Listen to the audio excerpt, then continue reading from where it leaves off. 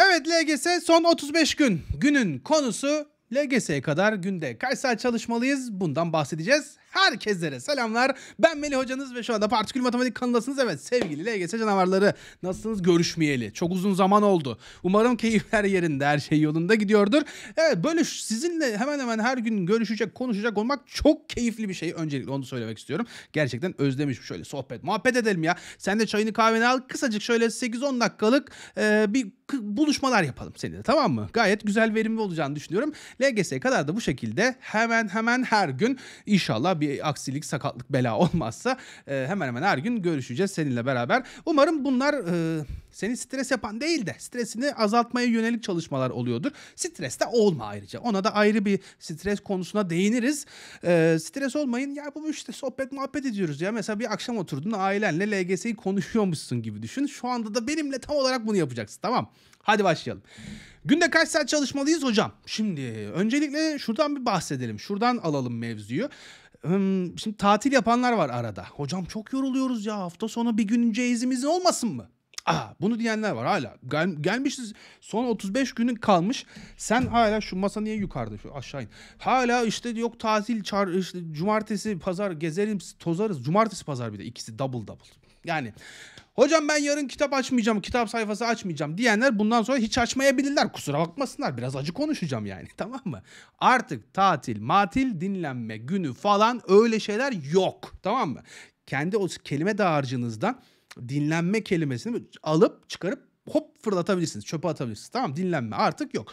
Şöyle tabii ki de e, yani illaki hafta sonu ya da işte ailenizle geçirdiğiniz bir süre illaki vardır. Ya da bir dışarı çıkıyorsunuzdur. Bir ne bileyim şimdi havalar da güzelleşiyor. Pikniğe mi gideceksiniz artık ne yapayım? Bir kısa böyle 3 saatlik falan Kısa dediğimde 3 saat biraz uzun oldu ama yine de 2 saat 3 saatlik ufak böyle e, kaçamaklar olabilir. Bunlar tabii ki de sizleri motive etmesi açısından da önemli ama zaten gün içerisinde 7-24 çalışmıyorsunuz. İlla ki aralarda dinlenmeler oluyor.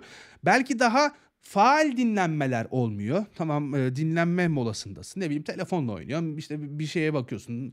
Televizyon, televizyon filan e, esas böyle dışarı çıkayım daha büyük zamanlar içinde bunları bunu söylüyorum. Yani 2-3 saati geçmeyecek şekilde öyle bir çıkayım sabahtan işte yok sinemaya gideriz arkadaşlarla buluşuruz yok top oynarız bilmem ne. Bunlar çok uzun vadeli olaylar. Dolayısıyla bunları hayatımızdan çıkarıyoruz tamam kısa kısa. Peki tersten gidelim hocam. Dinlenme tamam da ne kadar çalışmalıyız o zaman? Şimdi burada tabii herkese aynı reçeteyi veremem çünkü herkesin durumu farklı. Kiminiz sabahçı, kiminiz öğrenci, kiminiz tam gün gidiyor. Geliş gidiş saatleriniz okula harcadığınız o mesai yani Okulda bazılarınızın ders sayısı fazla olabilir. Özel okula gidenler vesaire ya da kurslara giden, dershaneye giden vesaire çok fazla detay var. Ama ben sana ortalama söyleyecek olursam hafta içi hep diyoruz yani 4 saatin altına kesinlikle inmemeye çalışın. 4 saat. Hocam dershanem var, kursum var. Bu nokta yine aslında başka videoda değinecektim ama söyleyeyim. Verimli olmuyorsa gitmeyeceksin. Artık son 35 gün kalmış telafisi yok. Sen dershaneye sadece vicdanını rahatlatmak için Gidiyorsan gitme. Tamam. Ama evde de kalıp çok affedersiniz. Malak gibi de yatmayacağız. Tamam. Karpuz da yata yata büyür.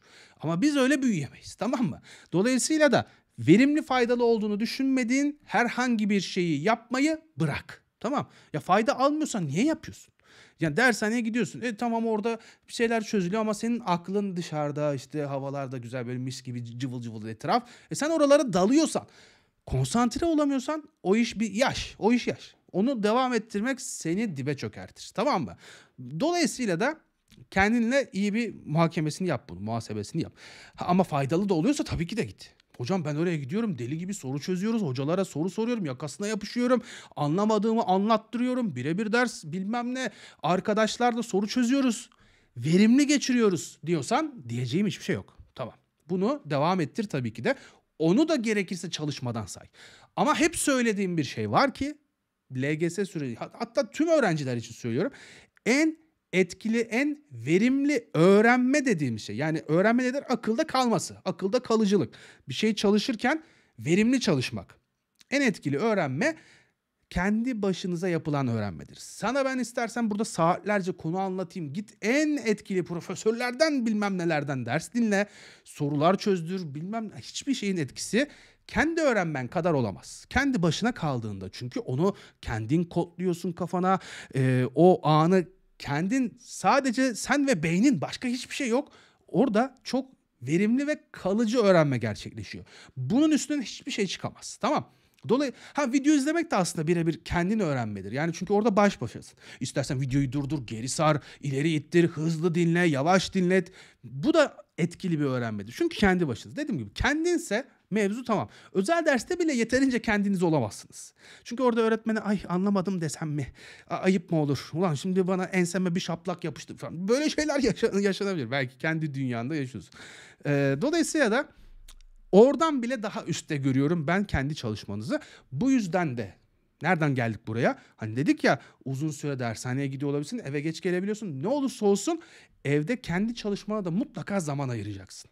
Tamam. 4 saat olmaz. 2,5-3 saat. Tamam 2,5-3 saat olur ama mutlaka kendinde bir çalışmalısın. Zaten soru çözmen lazım kendi başına değil mi? Yani LGS'de de yanında e, dershane hocaları falan olmayacak ya da e, kurstaki öğretmenlerin, okul öğretmenleri olmayacak. Kendi başına kalacaksın. Dolayısıyla da bu kendi başınıza çalışma alışkanlığına da erişmeniz lazım. Bu noktada sabah erken kalkmayı da bir deneyebilirsiniz. Ki zaten uyku düzeni açısından da bunu tavsiye ederim. Mesela 11'de yattın, 6 gibi uyan. Ne olur? İşte 7 saat. 7 saat uyku cillop. Bence yeter. Daha ne? Hadi 7,5 yap. Çok fazla böyle kış uykusuna yatar gibi uyuyan arkadaşlarımız var. Günde 14-15 saatlerden bahsedenler. Olmaz arkadaşlar. İdeal uyku süreniz 7-8 saat arasıdır. Bak ben yıllarca saat kurdum.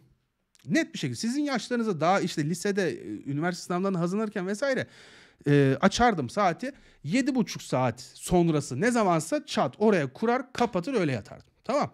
Neyse ne uyudum mu uyuyamadım mı yok sağa sola mı döndüm onlar önemli değil. 7,5 saat sonra uyanacağım. Çünkü yattım ben o an bitti. Tamam uykunu aldın aldın. Alamazsan yapacak bir şey yok. Ertesi gün telafisini edersin. Dolayısıyla da buna da dikkat ediyoruz. Hafta içi dediğim gibi ideali 4 saattir minimum. Bunları da zaten içeriklerinde nasıl e, çalışmanız gerektiğini işte videomu izleyeyim sorumu çözeyim. Bunları zaten diğer videolarda hep anlattık.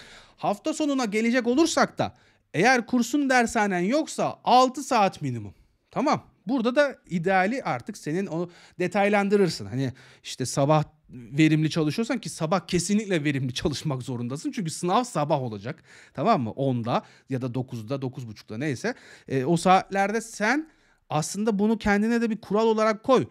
Beynine de alıştırmış olursun. Yani sabah saat 9 gibi benim beynim artık alışmalı çalışmaya. Tamam? O motor döngüsü başlaması gerekiyor yani. Çünkü sınavda da aynı düzen devam etmeli. Hani olur ya bazen sürekli aynı saatte uyanırsan belli bir yerden sonra alarm kurmasan bile aynı saatte uyanırsın. Tamam. Bizim ufaklık öyle mesela. Her gün 6'da ayaktayız. Tamam. Dolayısıyla yani saat kurmuyoruz. Ne bileyim işte güneş de o saatlerde doğmuyor. Nasıl bir e, düzeni varsa biyolojik saat öyle güzel oturtturmuş ki 6'da uyandırıyor. Dolayısıyla sen de böyle olursan her gün bir şeyi düzenli yaparsanız o artık biyolojik saatinize işler. Çalışmak da aynıdır. Sen her gün 9'da 9.30'da 10'da başladın mı çalışmaya beynin artık ona alışır daha aktif olur. Tamam mı? Yani sınav anında da bunun faydasını görürüz. Onu da söyleyeyim ya. Bunlar bilimsel gerçekler. Öyle boş kofti konuşmuyoruz onu da söyleyeyim. Dolayısıyla hafta sonunda 6 saatin altına düşmüyoruz. Bol bol artık tabii ki de gözümüzü yönümüzü nereye çevirdik? Denemelere. Tamam bol bol. Deneme analiz. Deneme analiz. Eksik kalan noktalar var. Denemenin analizini yaptım lan. Çarpma işlemi olmuyor bende. Yumuluyorsun hemen soruya. Ekstra sorular da çözüyorsun onunla ilgili. Bu noktadan da devam ediyorsunuz diyerek bu videonun da sonuna geleyim. Yine yorumlarda bekliyorum. Son 35 gün yavaş yavaş böyle gideceğiz. Sona kadar beraberiz inşallah. Tamam ondan sonra da beraberiz. Tercih döneminde de biliyorsun sınavda kaybetsen de masada kazanmak diye bir şey var. Tamam. Doğru tercihle gayet e, olabildiğince tabii imkanlar el verdiğince daha üst seviyelere de oynayabiliriz. Bu tercih zamanının ikinci tercihi var. Üçüncü tercihi olabiliyor. Bazı yıl dördüncü tercihe kadar süreç tanımışlardı yani imkan tanımışlardı. Dolayısıyla bunların hepsinin yazın takipçisi olacağız. Sizler de takipte olursanız, takipçisi olursanız bunların hepsini bizden duyacaksınız. Tamam. Tercih zamanını konuşuruz. Daha oraya var. Var oraya da. Tamam. Şimdi biz işimize bakalım. Tuttuğu koparalım. Yani o hedefimize şu kendimize doğru yavaş yavaş çekelim. Bak 35 gün kaldı ya. Bırak ne dinlenmesi, tatili bilmem nesi. Asıl 35 gün. Oğlum dünya bile 7 günde kurulmuş. Yani şu an tamamen sallamış olabilirim. Hani çok da bir üst, üstelemeyeyim bunu ama öyle bir şey aklımda kalmış. 7 gün. Sen 35 gün ya kısacık bir süre yani. Tamam. Bu 35 gün bitecek. Hop kafa sıfırlanacak. O böyle son sayısaldan bir çıkacaksın. Bomboş. Böyle bir dünya böyle renkleri algılamaya başlayacaksın. Aa güneş sarı filan. Öyle bulut mavi aman ya Rabbi filan. Böyle tepkiler vermeye başlayacaksın. Çok rahatlayacaksın. Hiç merak etme. O boşluğun tadı var ya inanılmaz. Ya istesem belki bir daha yaşayamayacaksın yani tamam. Dolayısıyla bu sınav zamanlarının en güzel noktaları sonudur. Ama o sonu da iyi yaşayabilmek için sonun başlangıcı yani şimdisini iyi, iyi değerlendir. 35 günde çok şey değişir. Çok şey değişir. Sakın yok ben yapamıyorum da az puan da hala hedefime çok var da hiçbir şey değil. Halledersin. 35 gün. Sıkın dişinizi bak 4 saat diyoruz 6 saat diyoruz. Yumul çalışmaya hiçbir şey yapamadın. Çözüm videosu izle. Son kampları izle. Tamam bu şekilde toparla kendini halledersin. Tamam mı? En azından bulunduğun yerden 2-3 tık üste çıkarsın ya. Fena mı olur? A okuluna gideceğine C okuluna gidersin. Daha iyisine gidersin. Önündeki 4 yılı 5 yılı hazırlık sınıfı olursa 5 yıl. 5 yıl ne demek yani? Zaten kaç yıl yaşıyoruz oğlum? 5 yılı geçireceğin o okulu, o hayatı şu an belirleyeceksin. Tamam. Dolayısıyla da bana yok hocam fedakarlık yapamam. Yok işte arkadaşlarla görüşeceğiz. Bilmem neyi. Unutun onları. Tamam. Zaten sınavdan sonra da okul devam ediyor. Yine okula gidersiniz arkadaşlarla kaynaşırsınız, buluşursunuz bir yerlerde. O güzel e, günleri yaşarsın yani tatil başlamadan. 15 Haziran'a kadar bir kaynaşırsın yine güzel günler geçirirsiniz arkadaşlarınızla. Şu an değil ama. Şu an fokus, odak, konsantrasyon. Sizlere güveniyorum. Tamam. Hadi bakalım. Bir sonraki videoda o zaman yeniden görüşünce de kendinize çok iyi bakın ve matematikle kalın. Hoşçakalın.